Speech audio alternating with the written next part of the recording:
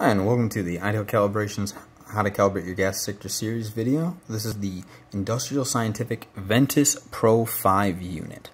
Uh, so let's take a look at this. Let's get this started, and while we are, we'll talk a little bit about it.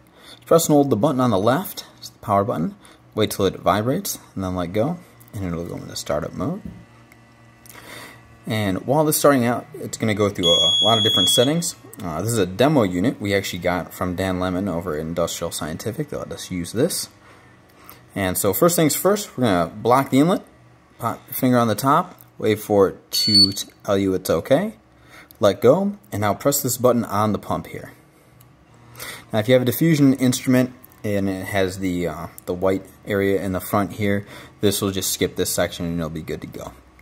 Alright, so we're going to let that start up. And oh, first things first, it's going to ask us for an iAssign tag. I'll talk about this in a second. But essentially, uh, this is a tag that lets the monitor know who I am. So you can give these to your guys. And uh, this is Cole Killian. Technically, I've stolen his tag here. And Ideal Calibrations, that's us.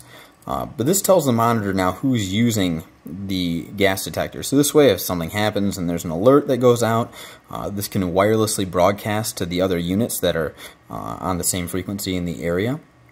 So that if they're grouped up with it, and it can tell the other people in the group, hey, uh, Cole is down, or Cole is seeing an alarm of some sort. Uh, and it'll also save it in the data log, so if you ever need to go back and get that information, you can get it pretty quick and easy. Uh, it's going to go through the alarms here. It's going to say uh, days since calibration. Uh, it'll show the alarm limits. Uh, it'll give it a little bit more information on the monitor. But while that's happening, let's get our calibration gas set up. Put this down, drop that. First things first, we're going to check the values here. Uh, for this monitor, the standard for the four gas units is a 25 part per million hydrogen sulfide, 100 part per million carbon monoxide, 25% LEL pentane, 18% oxygen, and a nitrogen balance. You also want to check the expiration, make sure we're in date. Uh, as you can see, we're at, uh, 06 15 23, so we got plenty of time on this mix. So I'll put this down here, and it looks like the monitor is all started up.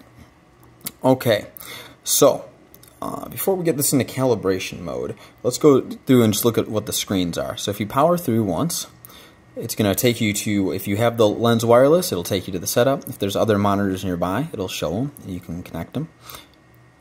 This shows who you are, who is the user currently. Press it again. And now we're looking at the days since calibration and last span. Uh, if you press the power, the enter button here, it'll start the zero process. We'll come back to this. B is for bump test, so you would press the button, then hook up the gas, and you would do your daily bump check. Now here this is showing peak values, so this is the highs of all these sensors and the lows for the oxygen. And now we're looking at the TWA, that's time weighted 8 hour average. STEL is the 15 minute moving average. And now we get to a screen that displays what the sensor is, and it gives you a lot of good information here. So you can see the alarms, that's your low and your high alarm. If there's a STEL and a TWA, they show there. And it shows the calibration gas value. So in this case, it's going to calibrate to uh, 20.9, but it checks it with 18. So that's why we have 18 in the cylinder. So you can go through each one of these, the LEL, CO, and H2S sensors, and it's got some good information here. Uh, this is a feature I really like that Industrial Scientific does. I don't know of any other gas detector that has such an easy to read screen here.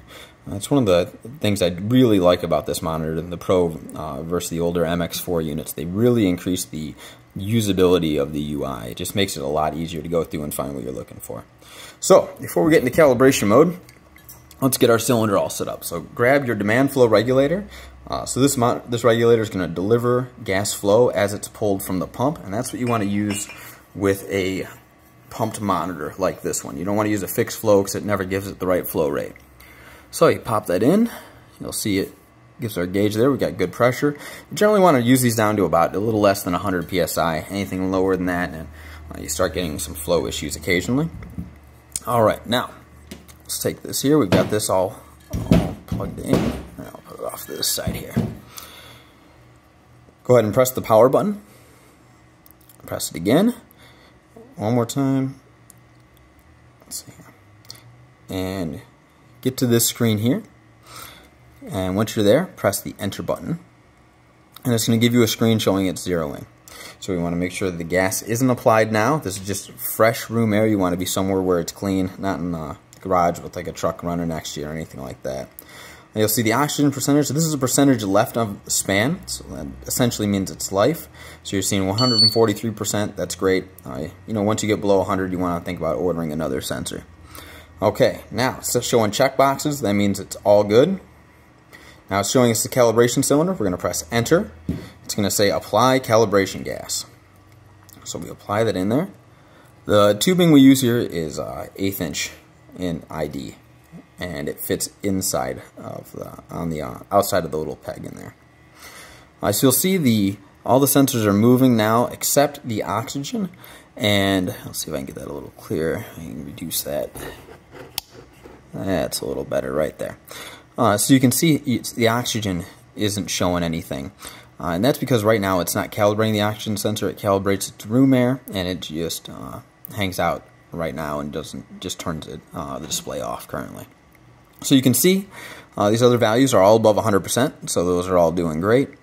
Uh, means we got a lot of span reserve on the sensors here.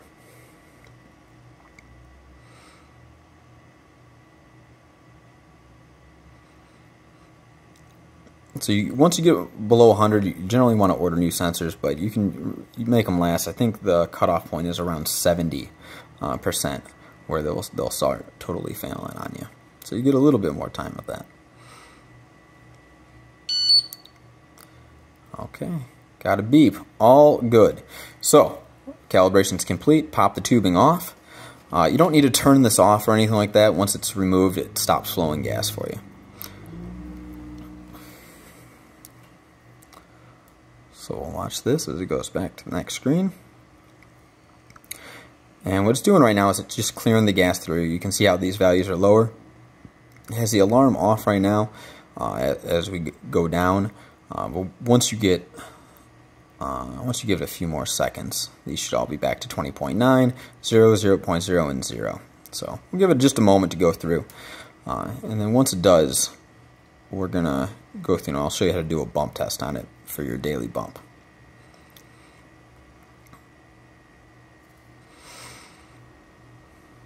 Mm, okay. Yep.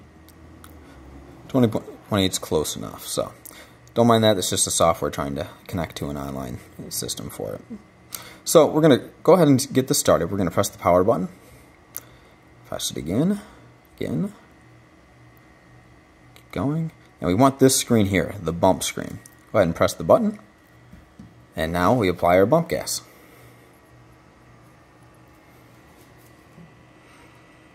And it shows you the values that it wants on the cylinder.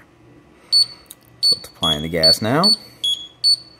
So you can hear the alarm going off. I can feel the vibrating alarm, and I'm watching these strobes. And that's what tells you a bump test is passed. Now it gives us the check boxes. Pop that out and we saw all the sensors move, they all passed their bump check, so now they're going to head on down. And essentially you're ready to go now. Uh, it's going to clear out of this screen. It'll go back to normal reading mode in a couple seconds. There we go. Okay, and you just want to wait for this to get down to zeros, and then you're ready to go to work, uh, if that's the unit. If you have any questions on anything, or uh, if you guys want to order calibration gas, or need parts, or technical advice, you know, feel free to give us a call here. Uh, my, my name is James Moore, and the phone number is 734-956-0539. It's right here. And you can also email us to support at idealcalibrations.com. Thank you guys. Uh, be safe and take care out there. Thanks for watching.